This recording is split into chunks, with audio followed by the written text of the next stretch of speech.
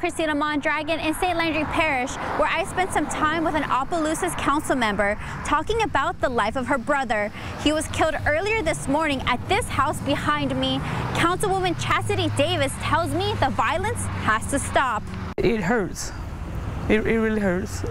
Opelousas Councilwoman Chastity Davis is the younger sister of John Davis, who she tells me was found shot to death Tuesday morning in his trailer here in St. Landry Parish. John was just released after serving the last eight years at a correctional facility in Claiborne, Louisiana. He just got out of prison oh, a week ago, a little a week ago, and um, he was able to spend Christmas with us for the first time in a very long time. I spoke to fellow Opelousas Council member and friend Marvin Richard, who says the timing of this crime makes this even harder to understand. You know, we have a beautiful holiday, families enjoying one another out of town and having a great time.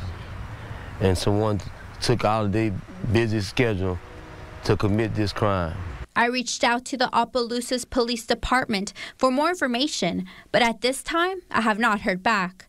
The family of John Davis tells me after being away for so long, it's sad that he only had a short time with his loved ones. Regardless of his past, he still was a good person.